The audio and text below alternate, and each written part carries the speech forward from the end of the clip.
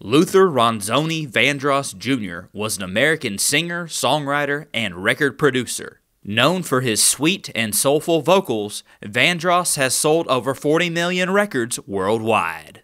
Vandross had diabetes and hypertension. On April 16, 2003, he had a severe stroke at his home in New York City and was in a coma for nearly two months. The stroke affected his ability to speak and sing and required him to use a wheelchair. On July 1st of 2005, Vandross died of a heart attack at the JFK Medical Center in Edison, New Jersey. Luther Vandross was only 54 years old.